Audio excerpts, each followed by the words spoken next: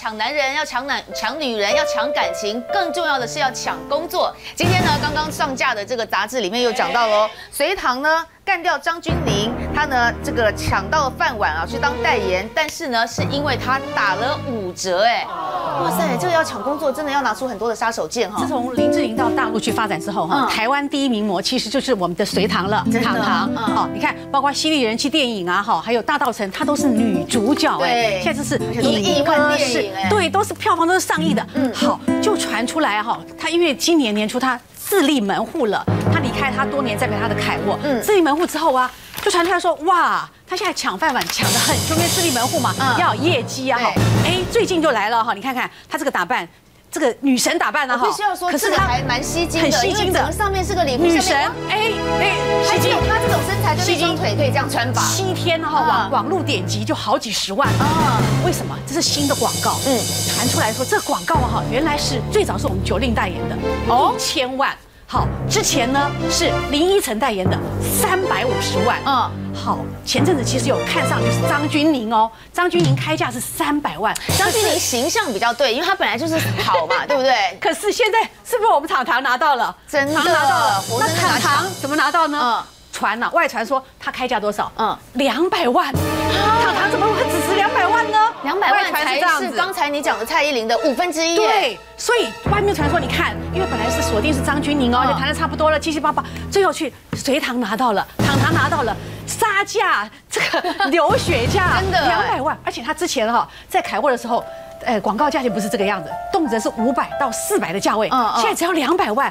可是他拍戏的时候啊，却并不是这样。他拍戏的时候还是蛮大牌，嗯，他最近最近拍一个叫《征婚启事》啊，嗯嗯，对，哇，在里面他有工作有规定，哎，工作不能超过十二小时，而且常跟导演啊就屁事密谈，饱受很多很多大牌的待遇呀，哈，他其实呢是很受尊崇的那种 A 咖这样。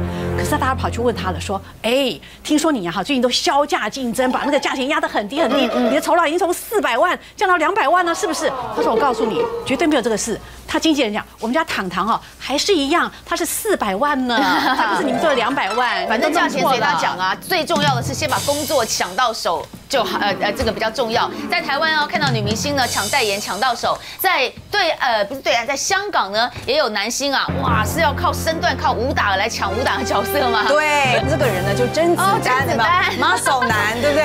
然后呢，大家还记得吗？其实他曾经呢跟另外一个 muscle 男赵文卓，他们呢合拍了一出电影，本来要合合作一个电影叫做《特殊身份》。嗯，OK，那时候大家觉得哇，两个拳脚这么厉害的男人一起这样，一定精彩死了。光是我们这些。对不对？那个女铁粉都疯狂了，对不对？结果你知道吗？多好玩！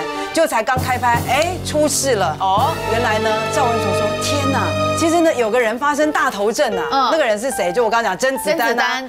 哎，他他居然当众哦，在片场我们都在拍摄了，把剧本全部改掉。哦，就他说热腾腾的剧本一拿来，他傻了。”角色换了，人物也换了。那请问我演什么呀？我还我当场要演什么嘛？他觉得不受尊重。嗯。可是赵文卓他就在微博干嘛？他就公开讲说：“我跟你讲，甄子丹这个人就是有问题啊，大头症啊，什么什么之类的。”好，结果后来网网网友就是觉得说：“啊，你们怎么那么吵？你们要不要打一架？”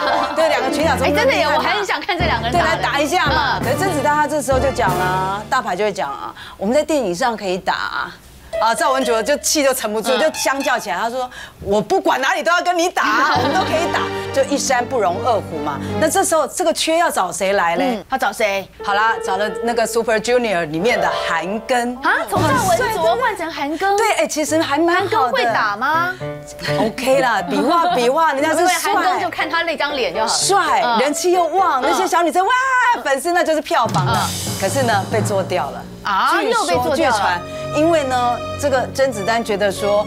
不要啦，比他年轻，比他帅，对，太帅了，这样抢我的风头，这样不行，就把他这样硬生生的给干掉，这样就算了。他连监制也动手了，你知道后来那个监制是谁呢？就是成龙嘛，都是武打片嘛，当时我们的主持也来啊，不会吧？据说也把他换掉了。哇哇，这个动作呢，其实这个片子后来有找了一个内地呢非常年轻的一个导演，叫做谭斌，他火了，他觉得说你甄子丹会不会真的太夸张，就走红之后就暴走嘛？我要开记。者会，我要控诉你，就他控诉了几件事情，也很可怕。嗯，刚刚不是讲到成龙吗？对，这个监制被踢掉。其实也是那个谭兵说的，然后另外一个他又讲了一个很可怕，嗯，他说据说我告诉大家，这个甄子丹的司机把赵文卓的司机给杀了啊，对，就有这种对，然后当然后来这个事情呢就进入诉讼，因为甄子丹觉得很生气，就告了谭兵。其实甄子丹在过去这一段，他从叶问红了之后，常常就是有关他大头症那个说法，也不是一天两天了。像金老师，请问一下，什么样面相的男人很可能是大头症？呃，我们的条件就是成功之后的大头症，所以它会出现一个成功的特质跟大头症的特质。嗯，那像如果是额头高的人，哦，这个额头很高的人，那么他事业上是可以成功的。但是如果额头高又内倾，就是往后。往后推，就哦这样，哎，对对对对，那就是成功之后就会出现大头症，哦，这是第一种。第二种就是这个眉骨这个地方啊很高的人，眉骨很高的人，他的成功的机会是有啊刹那间的爆发能量，嗯，所以他也有成功的特质。但是如果说眉骨高的人，但是这个眼皮这个地方哈是凹陷进去的，那就是成功之后也会有大头症。好，那来第三点就是颧骨的地方，啊，就是这个鱼尾下的这一块骨头，这个颧骨，颧骨如果是比较突入。啊，比较高耸的人，哈，他比较拥有权力地位，但是相对的，他拥有权力地位之后，他也是属于大头症的一个人，好，等于啊，权力地位才能够满足他 啊。如果没有权力地位的话，他基本上他就过着很难过的日子，很辛苦的日子。好，那接下来的话就是看鼻子，鼻子如果说这个鼻头非常的饱满，但是呢，他的鼻子的这个鼻身是比较瘦的，好，因为鼻子饱满的人，鼻子比较窄，哎，对，比较窄。好，比较窄，等于是比较瘦，等于就是呃鼻身看到的是一一条骨一条线，对，但是鼻头很饱满，也表示就是说他有赚赚进财富的能力，就赚进财富的能力也相对于某个程度的成功，但是鼻身见骨，哈，就是骨头跑出来，这也是啊有了财富之后，然后有大头症的特质。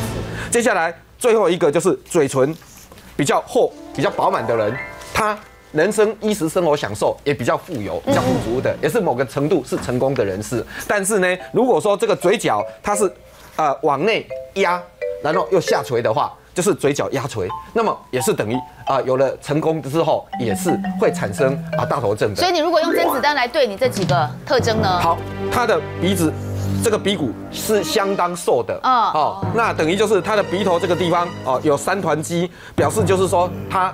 啊，有能力可以赚进财富，但是鼻骨很瘦，也表示就是赚进财富成功之后，他是有大头症的倾向。那另外，呃，我们看到的这个啊，锦荣，哎，锦荣之前也被被人家讲，他变成了天厚的男人之后，好像有一点大头症。他有他有符合两点哦，两点符合刚刚我说的两点。第一点就是他的鼻子鼻头有有饱满啊，诶，有看到这个三团肌，就是鼻头跟两边的鼻翼，但是他的鼻骨这个地方。啊，也是一样，很瘦的，很窄的。啊，那看到一条骨头骨形在那个地方。第二，他的嘴唇饱满，但是他的这个嘴角的地方有压，我往内收，然后有微微的下压，所以他的大头症。